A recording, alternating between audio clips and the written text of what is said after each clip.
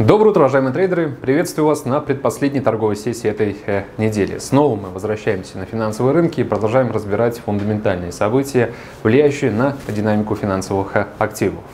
Давайте посмотрим на то, что происходит с рынком нефти. Я снова констатирую уровни 59-57, то есть ниже 60 долларов за баррель фактически в каком-то болоте котировки находится уже несколько недель. Хотя новостной фон, как вы все прекрасно знаете, является своего рода пороховым зарядом, эм, который уже привел к мощным волатильным реакциям большинства финансовых активов. Ну, думаю, что э, нефть тоже очень скоро раскачается, и мы точно определимся с дальнейшим вектором движения. Главное, чтобы этот вектор был направлен вниз, потому что прежние риски, о которых я говорил и на которых я продолжаю настаивать, это риски замедления темпов роста мировой экономики, они никуда друзья, не э, деваются. Сколько мы уже прогнозов от инвестбанков с вами перелопатили, сколько мы видели мрачных сценариев скорой рецессии. Все это действительно так. И есть очень много индикаторов. Один из самых главных – это инверсия кривой э, доходности. Мы за э, этой ситуацией следим и вместе с прочими участниками рынка констатируем, что она все больше и больше углубляется.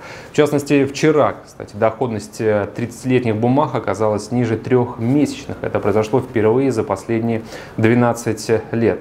В общем, если все-таки взаимные новые пошлины вступят э, в силу в перспективе ближайших двух месяцев, я имею в виду пошлины э, США и Китая, то скорее всего, мировая экономика планомерно продолжит скатываться вот в пропасть вот экономической непредсказуемости и неопределенности э, со всеми вытекающими отсюда последствиями и для нефтянки. Мы говорили с вами про проблемы, с которыми столкнется обрабатывающая промышленность, как это повлияет на стоимость нефти. Все эти риски, друзья, сохраняются.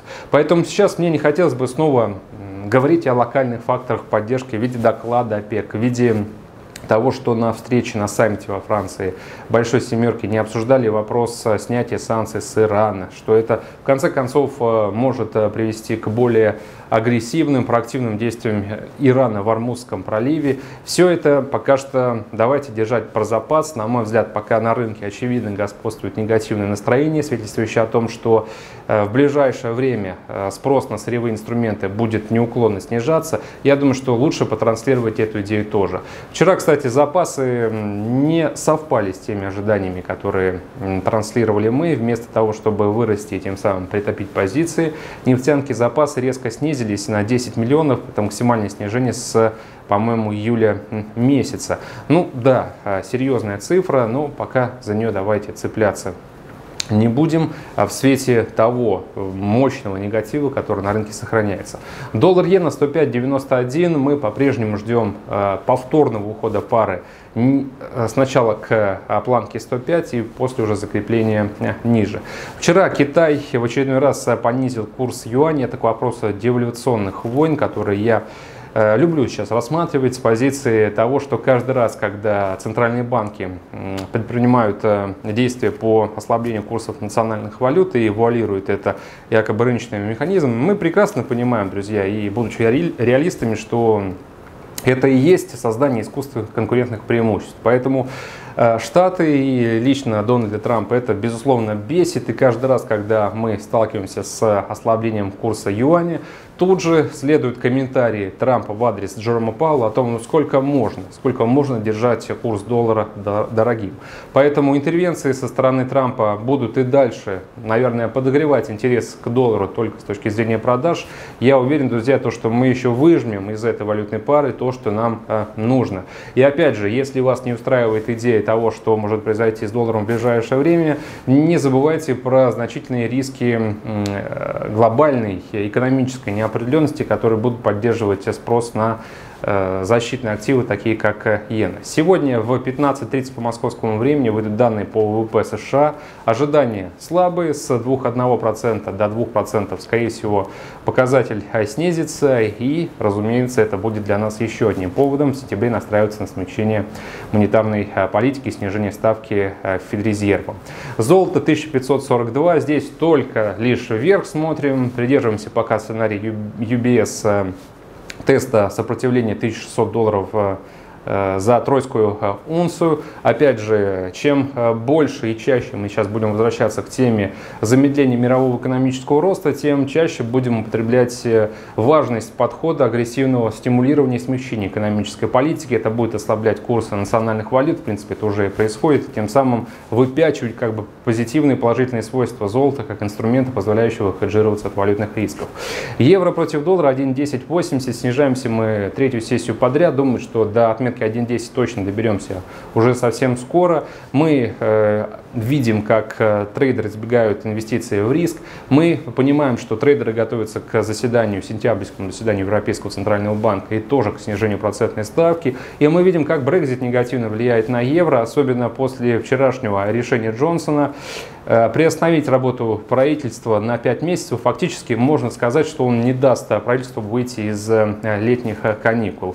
Для чего это делается? Для того, чтобы у правительства не было возможности заблокировать решение, прохождение решения э, Джонсона о э, жестком э, Брекзите 31 октября. В начале вчерашней торговой сессии я плавно предлагаю перейти к фунту, который сейчас держится на отметке 1.22 и вчера потерял больше 100 пунктов. В начале э, торговой сессии этот сценарий э, рассматривался еще в качестве гипотетического, то есть то, что работа правительства может быть приостановлена. Но э, Джонсон заручился поддержкой королевы, и в принципе это уже принятое решение. Петиция о том, чтобы не допустить этого, набирает сейчас голоса уже больше 100 тысяч подписей. В принципе это уже достаточно, чтобы вопрос был рассмотрен э, правительством, даже в парламенте. Ну, интересная ситуация, кто его будет рассматривать, учитывая то, что Джонсон ну, максимум на несколько дней даст выйти э, ему э, с каникул, а потом уже в соответствии с этим распоряжением которое он имел полное право а, дать, его работа будет приостановлена. Соответственно, жесткий Брекзит, сейчас его вероятность как никогда высока, и еще выше сейчас вероятность, друзья, то, что буквально на следующей неделе мы можем увидеть э, Э, действия оппозиции по выказыванию вотума недоверия Джонсону. Ждем закрепления пары ниже отметки 1.20. Австралиец против доллара 0.67, эм, по-моему, 24.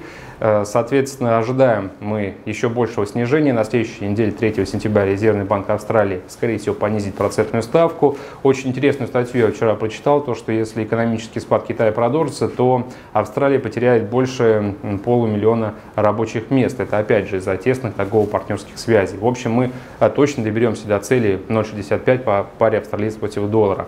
И доллар-канадец 1,3313. Мы понемногу, друзья, приближаемся к сопротивлению 1,35. Гол Goldman Sachs также рекомендует держать короткие позиции по а, канадцу, аргументируя свое решение точно так же, как я вам говорил, что вероятность смещения политики Банком Канады сейчас многие недооценивают. Ну давайте не повторять эту ошибку, будем закладываться под это и ждать, что пара сохранит а, восходящий импульс. На этом, собственно, все. Большое спасибо за внимание, всего доброго, до свидания.